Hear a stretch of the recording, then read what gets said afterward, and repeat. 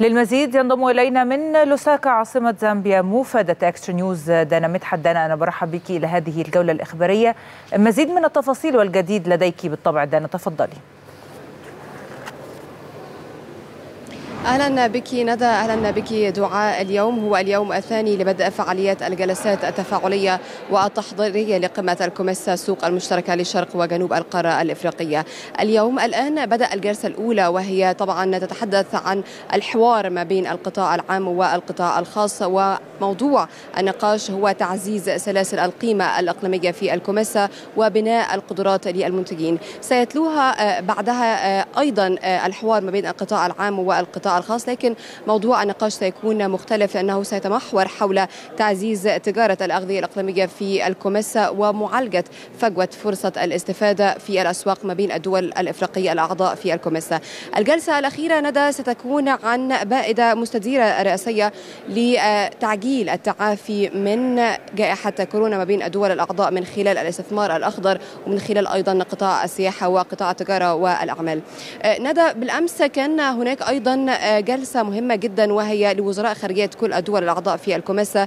تحدثوا عن مسألة مهمة جدا عن مسألة تعزيز السلم والأمن قبل حتى تعزيز التجارة والاتحاد الجمركي. لذلك من خلال عملنا عدد من اللقاءات مع المسؤولين الأفارقة. وكان هناك إجماع عن أن قضية السودان هي القضية التي تشغل كل الدول الإفريقية ودول الإقليم لأنها تؤثر بالتالي على مسألة السلم والأمن بالنسبة لكل الدول الأعضاء والدول الإفريقية. لذلك لا يمكن تحقيق تكامل اقتصادي أو تنمية في القارة الإفريقية من دون يعني التأكيد على مسألة نشر السلم والأمن في المنطقة وفي القارة الإفريقية. اليوم سيتم أيضا مناقشة عدد من الأمور تتمركز وتتمحور حول عدد من النقاط منها مسألة التكامل الصناعي وزيادة الإنتاج الزراعي وحتى الأمن الغذائي. سيكون هناك أيضا جلسات من خلال على مدار اليوم يتم الحديث كمان عن مسألة البنية التحتية واللوجستية وكما تعلمين ندى الحقيقة أنه حتى الدولة المصرية في رئاستها الماضية للكوميسا كانت تهتم بهذه النقطة وبهذا الهدف من أولويات الكوميسا مسألة البنية التحتيه واللوجستية.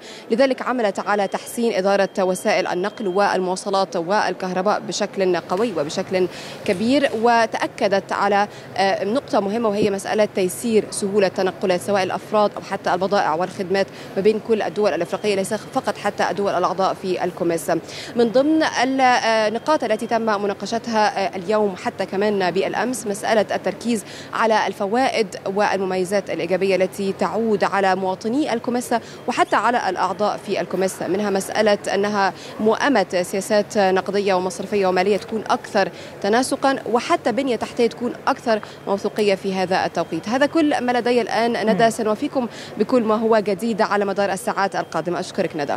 نعم أنا بشكرك جزيل الشكر الزميلة دانا مدحت موفدة إكسترا نيوز من زامبيا وتحديدا من لوساكا. شكرا جزيلا لك.